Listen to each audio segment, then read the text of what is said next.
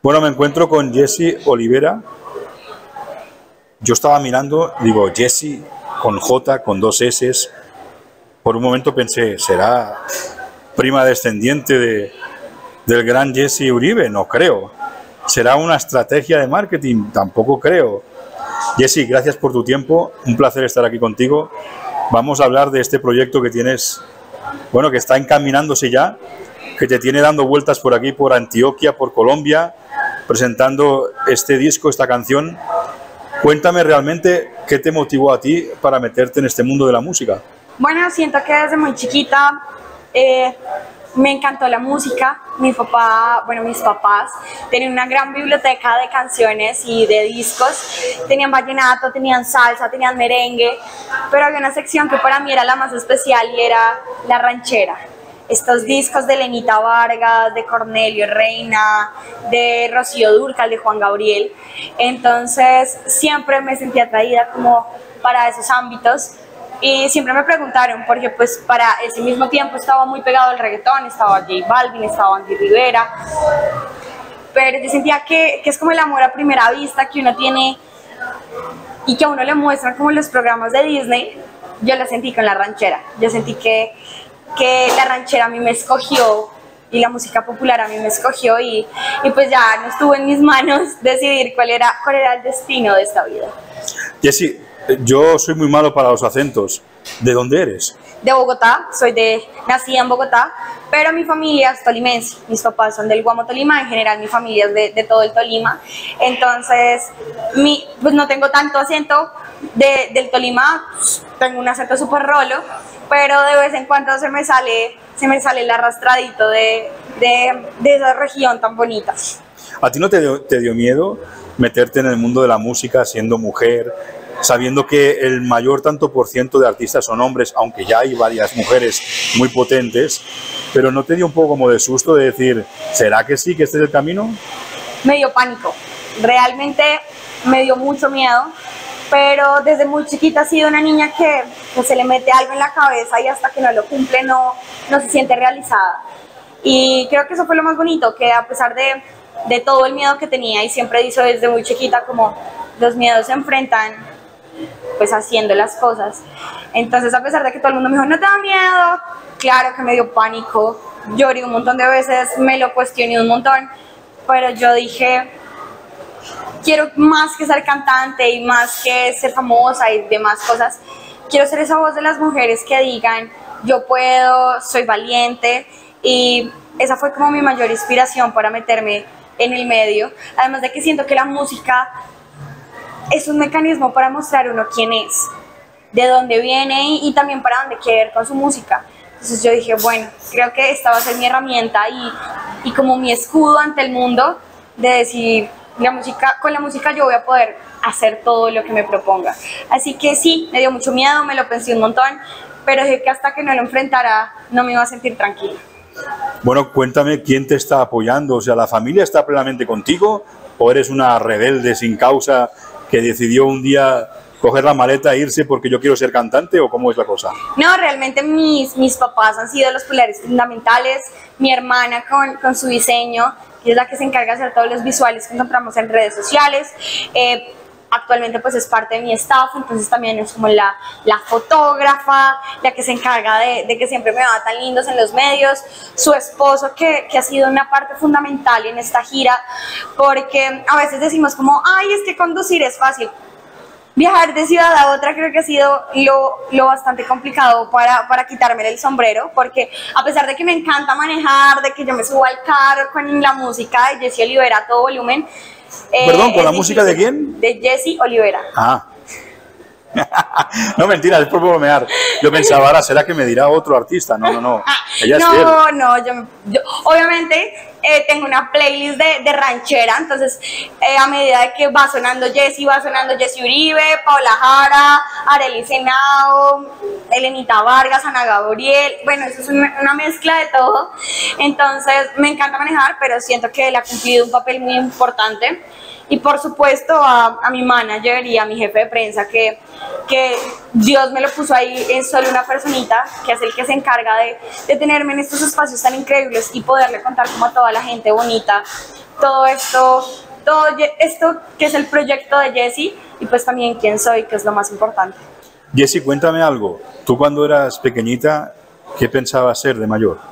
Siempre tuve muy claro que quería ser cantante de ranchera.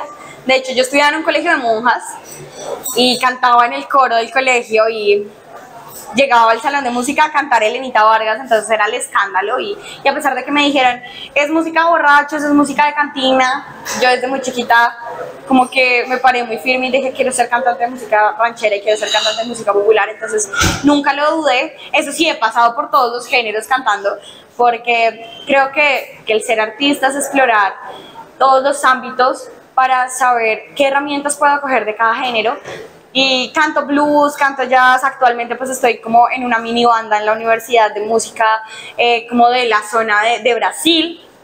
Y explorar eso también me ha permitido conocer que realmente la ranchera y la música popular para mí lo es todo y que nunca lo pondría en tela de juicio eh, decir cómo me puedo cambiar de género, creo que Jesse Olivera y para rato, pero está para rato, pero con música ranchera y música popular. ¿Tienes algún artista especial en el que te mires a la hora de, inspirarte o de decir, es que yo quiero ser como esa persona. ¿Has tenido alguno? Elenita, Elenita Vargas sin duda. Creo que ella fue mi mamá musical, la mujer que me abrazó desde mis inicios musicales y todo este proceso. Entonces sí, fielmente seguidora y admiradora de esta grandiosa mujer que también marcó mucho la música ranchera acá en nuestro país y en el mundo. Preséntanos tu, tu disco, cuéntanos este tema, por qué nace, eh, sí, es que el despecho, eso de que a uno lo traten mal y lo dejen medio tirado, como decimos nosotros, eso es el día a día, ¿no?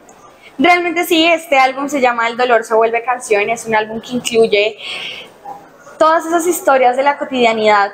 Comienza cuando uno se da cuenta que, que esta persona que tenemos al lado tiene ciertos detalles que a uno no le gustan, la indiferencia cuando llega y termina la relación, mm, cuando uno se da cuenta que, que, está en un triángulo amoroso y, y, la segunda opción fue uno. Entonces también el aprender a irse y a soltar y a darse cuenta del valor que tiene como mujer. Y ahí es donde llega la venganza. La venganza siento que es una canción muy poderosa y, y muy fuerte porque era ese sentimiento que, que sabía que a todos nos iba a unir, que que sé que más de uno tiene una espinita en el corazón que dice, ay, yo me la quiero sacar. Y a pesar de que seamos vengativos o no, lo hemos pensado.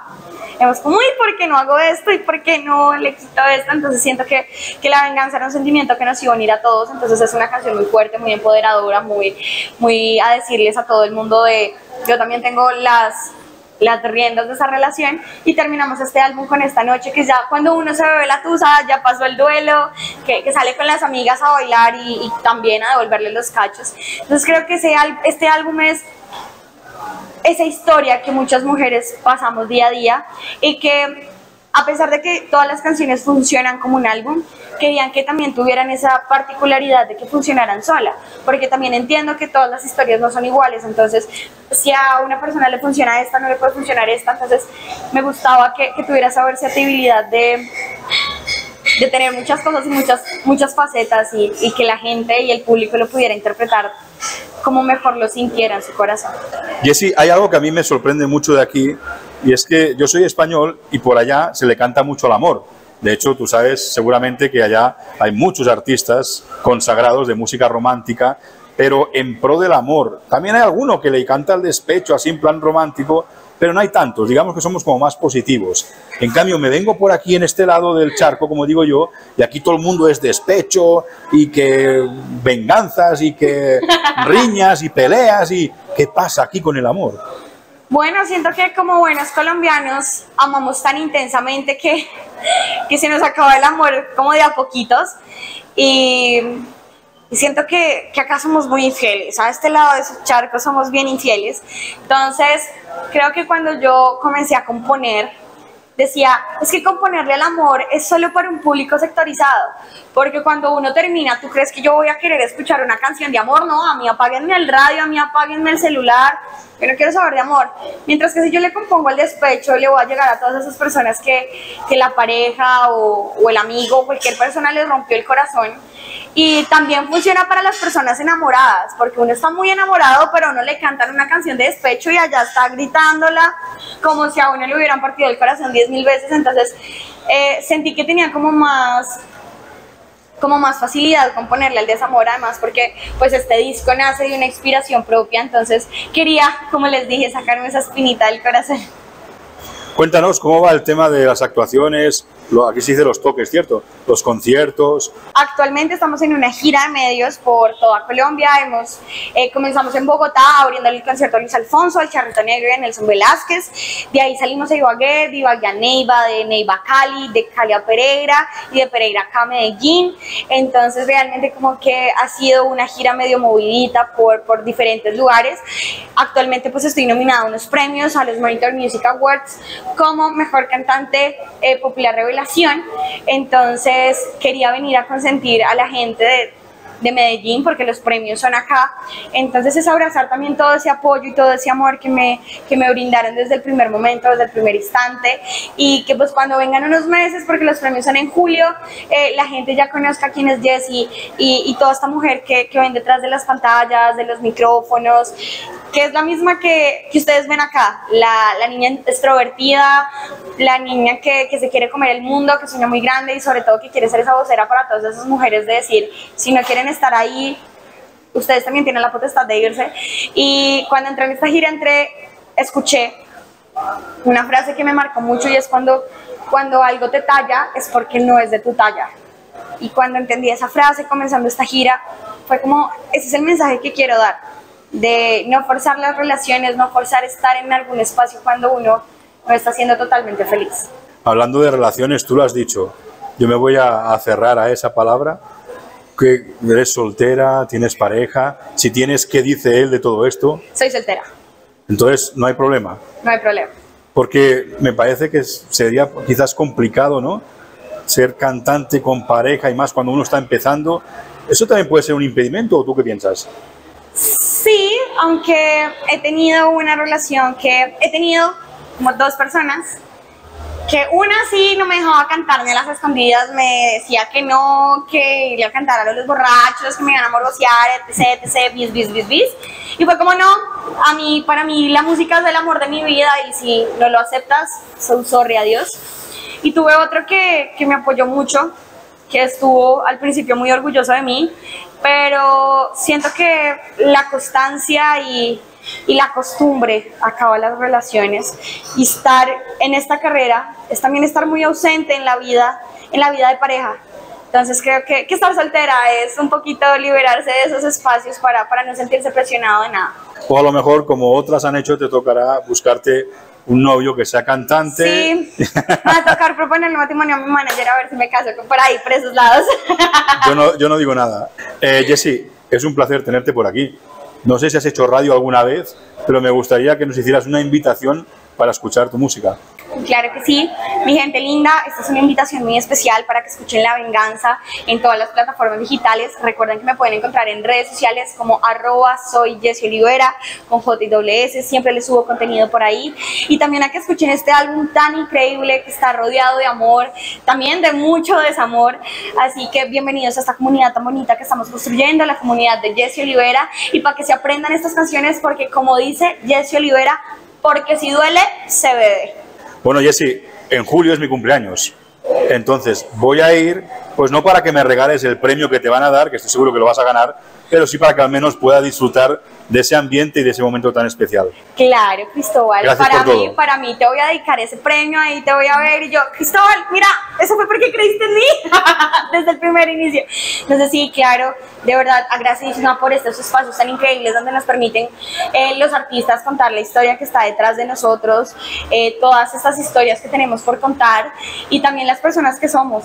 Creo que ese es el mensaje más bonito, el ser auténticos, el soñar en grande, en ser poderosos, en amarse, que creo que es un proceso difícil y en disfrutarse esto, que, que así como vamos a disfrutar el final, que esperamos que sea un final increíble, lo, lo importante es disfrutarse el proceso.